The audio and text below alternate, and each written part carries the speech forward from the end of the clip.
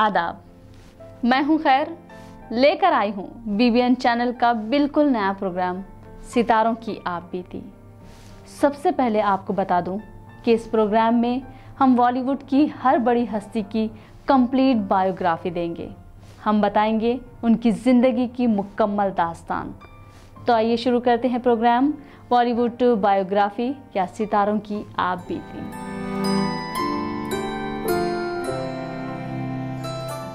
Bollywood film industry की history को अगर हम खंगालेंगे तो हमें एक सर सरनेम बहुत ही ख़ास नज़र आता है। वो है कपूर, जिसने बॉलीवुड पर पिछले सत्तर सालों से राज किया है। आज हम बॉलीवुड बायोग्राफी में सबसे पहले जिस अभिनेता, एक्टर के बारे में बात करेंगे, उनका नाम भी है राज। उन्होंने भी लाखों लोगों की दिलों पर राज किया है। जी हाँ बात कर रहे हैं राज कपूर की। मेरा जूता है जापानी, ये पतलून इंग्लिस्तानी, सर पे हिंदुस्तान के नामवर एक्टर और डायरेक्टर राज कपूर, जिनका जन्म 14 दिसंबर 1924 को पेशावर में हुआ। फ़िल्मों में क्लैप बॉय के तौर पर अपनी फिल्मी ज़िंदगी का आगाज़ करने वाले राज कपूर ने न सिर्फ़ अपने पिता यानी वालिद पृथ्वी राज कपूर की विरासत के दबाव में अपना तकलीकी सफ़र, यानी क्रिएटिव जर्नी तय की, बल्कि इसमें अपने लिए एक मुकाम की तराश खराश भी कर डाली। शुरू ही से बगैर किसी तासुब और बुक्स फ़ेमस स्टाइल को इख्तियार करके, वो चार दहाइयों तक, यानी 40 सालों तक फ़िल्म के उपक पर बतौर एक्टर और डायरेक्टर राज करते रहे। भारत के अलावा रशिया और मिडल ईस्ट तक देखे जाने वाला ये फनकार हालाँकि मैट्रिक के इम्तिहान में फेल हो गया था। लेकिन आज भारत की यूनिवर्सिटियों में सिनेमा पर मौजू तहकीक का दर्जा इख्तियार कर चुका है। दिल का हाल सुने दिल वाला सीधी सी बात न मिर्च मसाला। ये तो था राज कपूर का शॉर्ट इंट्रोडक्शन। अब आइए देखते हैं कि कैसे उन्होंने अपने कामयाब फिल्मी सफ़र की शुरुआत की। क्या क्या उतार चढ़ाव उनके इस सफ़र में आए? राज कपूर ने अपने फिल्मी सफ़र की शुरुआत डायरेक्टर केदार शर्मा के असिस्टेंट के तौर पर की और फिर सन उन्नीस यानी 1947 में बनने वाली इन्हीं की फ़िल्म नील कमल में, वो हीरो के तौर पर स्क्रीन पर नमूदार हुए। इस फ़िल्म में उनकी हीरोइन मधुबाला थी। मधुबाला भी पहली दफ़ा हीरोइन के तौर पर स्क्रीन पर आई थी। राज कपूर ने पहली दफ़ा अपनी फ़िल्म आग को खुद डायरेक्ट किया जो 1948 यानी 1948 में बनाई गई।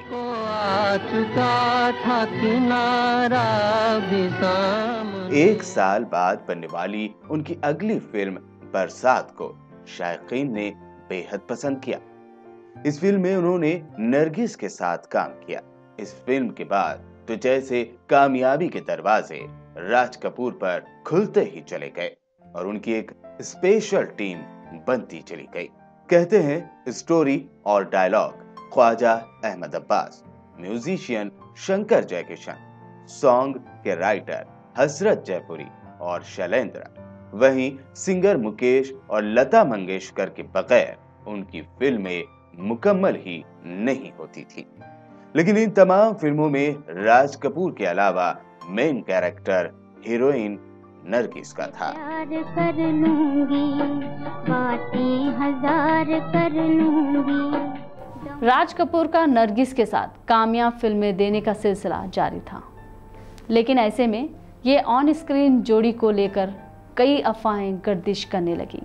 और फिर दोनों की ज़िंदगी कहीं ना कहीं इससे मुतासिर हुई और उनकी ज़िंदगी में उतार चढ़ाव आते गए। हम जब सताए बजाना पर मस्करे से। फ़िल्म बरसात से राज कपूर की ज़िंदगी में एक और शुरुआत भी हुई।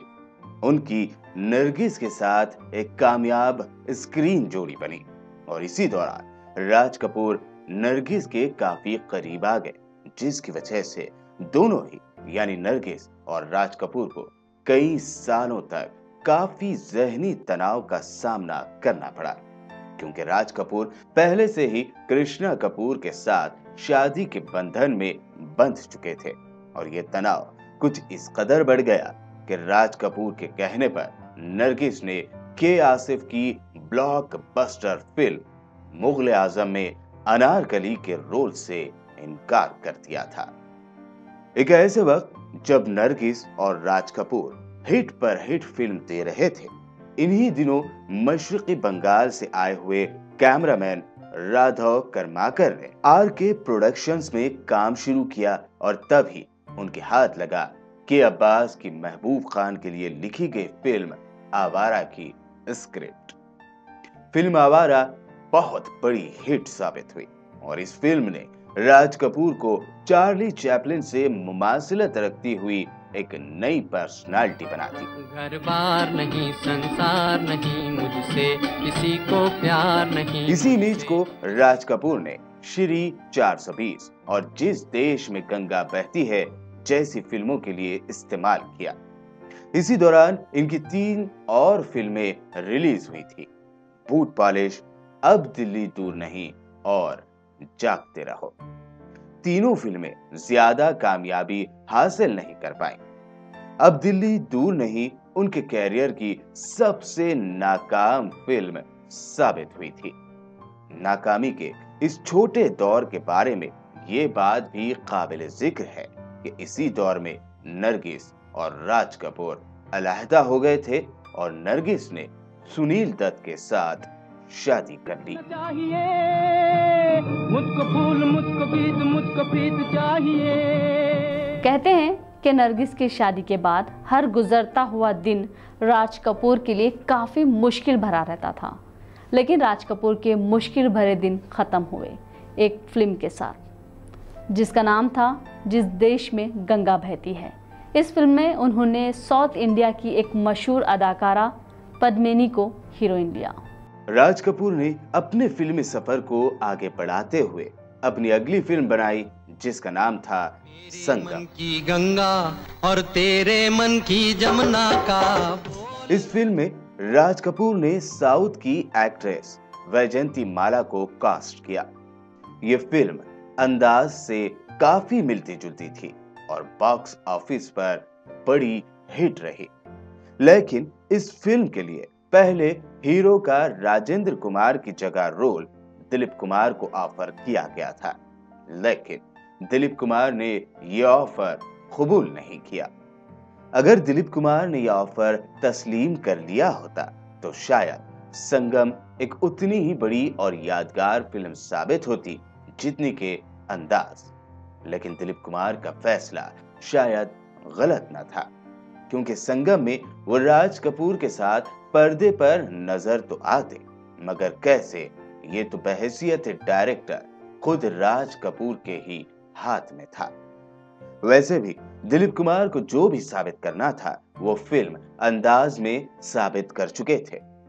जिस देश में गंगा बहती है और संगम की शूटिंग के दौरान राज कपूर का नाम उनकी हीरोइनों से फिर जोड़ा गया और बात यहाँ तक पहुँची कि इन फ़िल्मों के मुकम्मल होते ही पद्मिनी और वैजंती माला की उनके घर वालों ने शादी करा दी।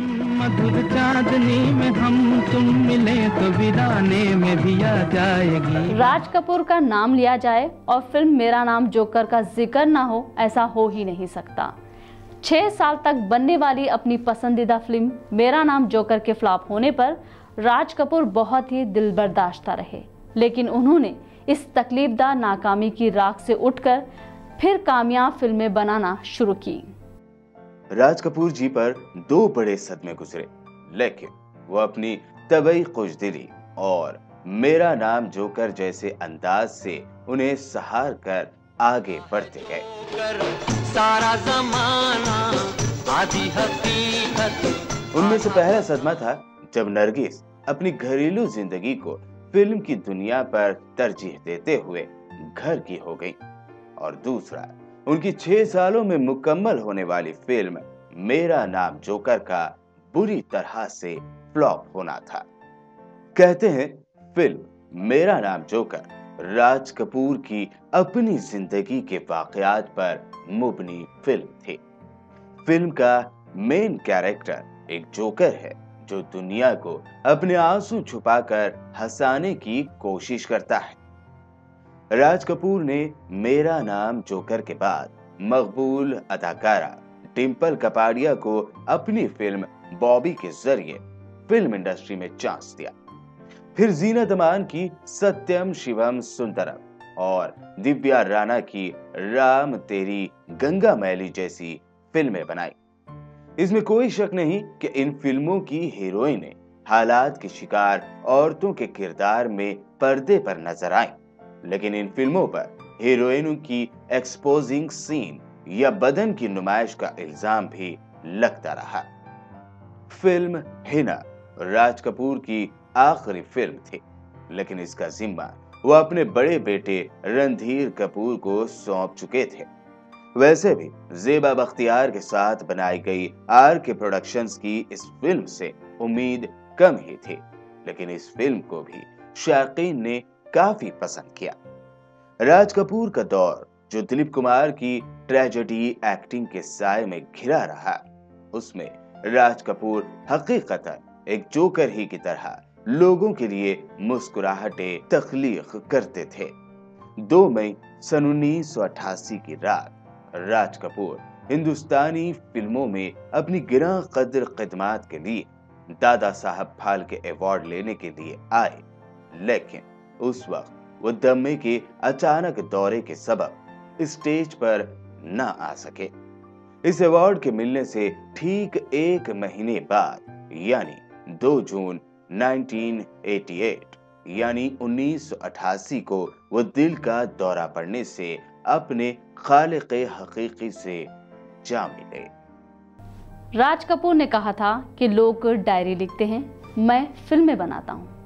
मेरी ज़िंदगी इन फ़िल्मों का हिस्सा है, जहाँ हर वाक़ हर रंग की चमक माजी की याद में महफूज हो जाती है। और ये सच भी है कि आज भी राज कपूर लाखों लोगों के दिलों में ज़िंदा है। वक्त हुआ है प्रोग्राम सितारों की आप बीती में। आपसे विदा लेने का तो YouTube पर बीबीएन चैनल को सब्सक्राइब करना हरगिज़ भी ना भूलें। तो चलिए मिलते हैं अगले प्रोग्राम में तब तक के लिए आपकी होस्ट खैर को इजाज़त दीजिए। देखते रहिए बीबीएन चैनल